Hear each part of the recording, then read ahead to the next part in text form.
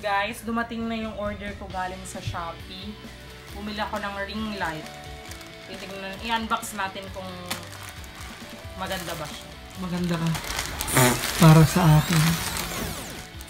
Para sa akin. Yan, naka-bubble wrap siya. Sinabi ko kasi na i-bubble wrap para safe yung item na binili ko. Thank you sa aking pinag-orderan. Mura lang siya. Nasa ah, 936 lang yata. Oh, 936. Excited na ako. Kasi napansin ko yung video ko medyo madilim. Kaya bumili ako ng ring light. Oh. Ano to? Sana wala siyang damage. Kasi yung binili kong tripod nung nakarang araw, may sira. Hindi ako na siyahan.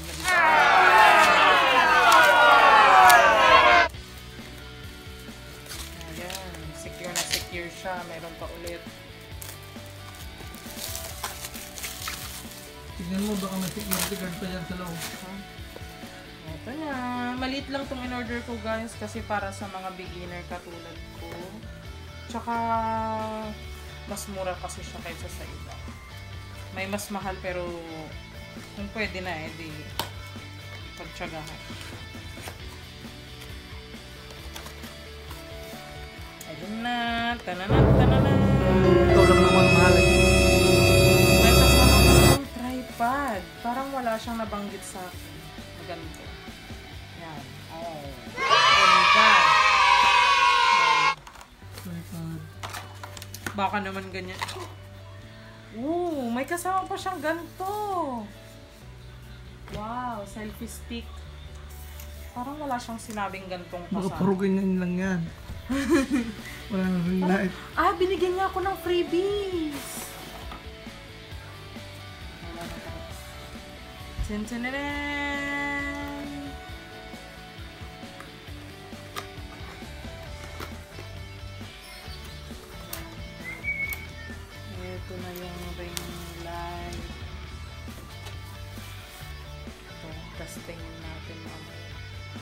Kung may klasa na yan. Hindi, sasaksak pa.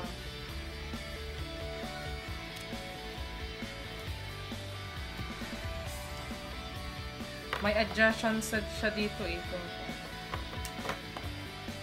Subukan natin. I-stop mo muna, Joe. Ah, i-try natin. Uy, si Mama Okan mo. So, ano yan? Yung Sinubuk, USB pala siya, USB, Ah, kaya sinubukan ko siya sa power bank ko. power bank, power bank. Tira-try natin kung gagana siya. Ayun, umilaw. Ito na, masusubukan na natin kung may defect ba to o wala. 1, 2, 3. Uy, Wow. Ang It's a ring. It's a ring Bilog light. pala ang ring light, Char.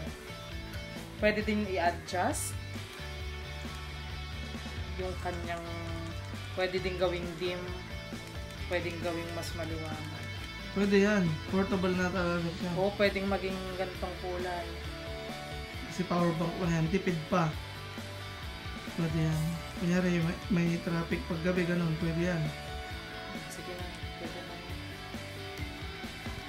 Hello guys, trinay ko siya ngayon. Ang ganda niya. Promise, tuwang-tuwa ako. Sa bago kong ring light. Satisfy ako. Kaya i-recommend ko yung pinagbilhan ko. Sa, i-recommend ko yung shop na pinagbilhan ko kasi maganda siya. Tsaka ang ganda pala ng ring light guys kasi kahit ah, power bank lang, pwede mo nang gamitin. So, pwede din i-adjust yung mga ilaw niya. Nag-selfie ako agad gamit tong ring light ko. Yan. So, medyo umiinit siya. Yung effect niya sa mata, maganda. Kaya mapapansin nyo sa mga susunod kong vlog, maliwanag niya. Kasi mayroon na akong ring light, affordable pa. Ah, na-assemble ko na, nilagay ko na siya sa ah, stand niya. Yan.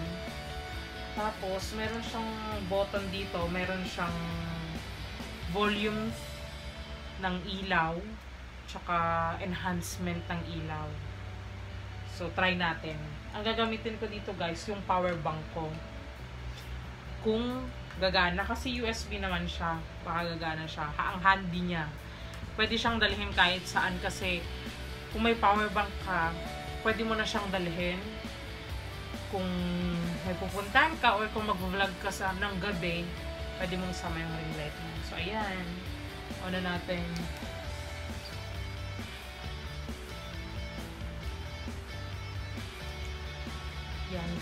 Liwanag niya.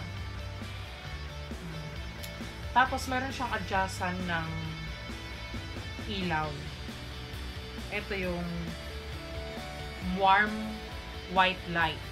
Warm white light ang tawag dito guys. Medyo ano siya. Hindi siya ganun kaliwanag. Ito light white. Uh, mas bright siya kaysa yung kanina warm white light kasi yun. So, kung gusto nating i-adjust yung liwanag niya, may volume dito. Parang, yan. Yung volume natin yung brightness niya. Pag gusto nating i-dim, yan, hinihina yung ilaw niya. Nakikita niya yan, guys. So, yun. Napansin ko kasi yung mga, mga video ko medyo ma madilim. Kaya, naisipan kong bumili ng ring light. Yan guys, maganda siya. Papakita ko yung picture ko dito kung ano yung effect niya sa picture. Yan. Yan. 900 plus lang siya guys. Pwedeng pwede na. Tsaka natuwa ko kasi wala siyang defect. Yung in-order ko kasi sa tripod may defect siya. Uh, nag-request pa ako ng return para palitan yung item na binigay sa akin. Excited pa naman ako. Ang tip ko guys, kung mag-order kayo sa Shopee, i-review nyo lahat ng mga feedback sa kanila. Kung yung mga feedbacks, uh, karamihan positive, doon na lang kayo. Kasi ito, ni-review ko talaga to eh. Kung kamusta yung item nila, kung kamusta yung uh, delivery nila, okay lahat walang problema lahat ng customer nila satisfied.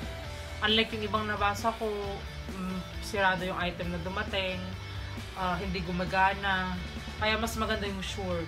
Ang tagal ko bago pinag-isipan na bilhin to mga siguro umabot din ng 3 days. Kasi basa ako ng basa ng mga feedback. Ayoko kasi masayang yung ibibili ko ng ring light. Gusto ko yung sigurado. Kaya guys, i-post ko dito kung kaninong seller ako kung nag-order. Thank you sa pinag-orderan ko.